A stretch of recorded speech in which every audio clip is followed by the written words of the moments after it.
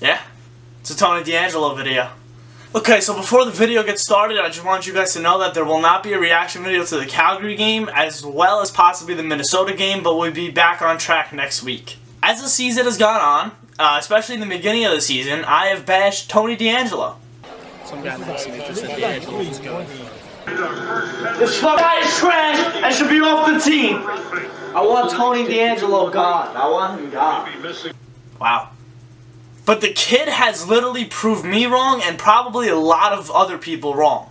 So right now he's at an even 50 games played, he's a plus 3 and has 26 points. Those 22 assists might come as a shock to you because the guy, all he would do is turn the puck over in the beginning of the season.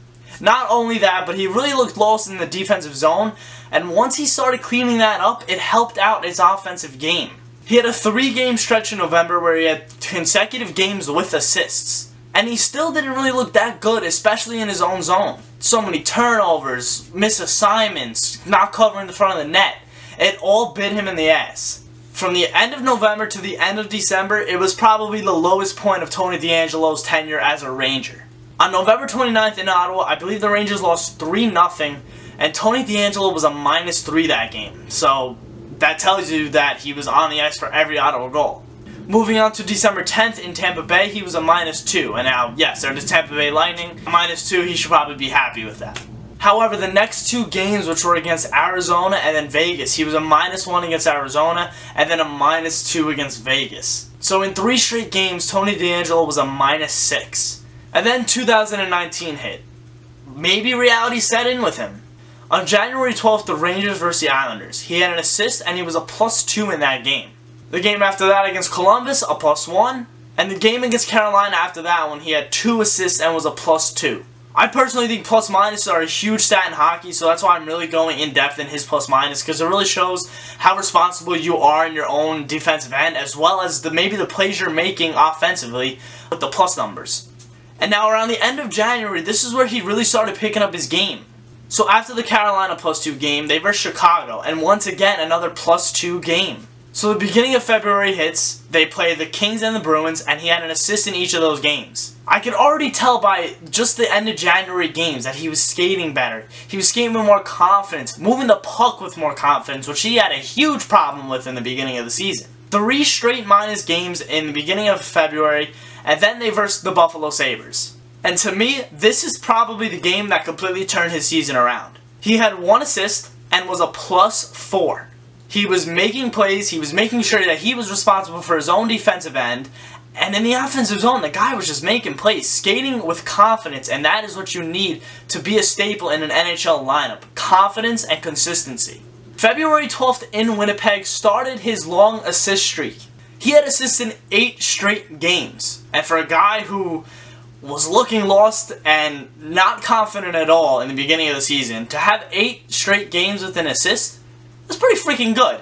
And my personal opinion about Tony DeAngelo, the kid, it looked like he was lacking a lot of immaturity and confidence, and honestly, it still might be there, the immature part, but the confidence on the ice, I mean, that's looking really good right now. I'll never forget on Twitter there were people telling me, oh my god, DeAngelo's the future, DeAngelo's the future, like him and Miller, K'Andre Miller, him and K'Andre Miller. And I was telling myself, I expected that, yeah. But right now, it doesn't look like he's going to be a top future two pair for us, or even a four guy.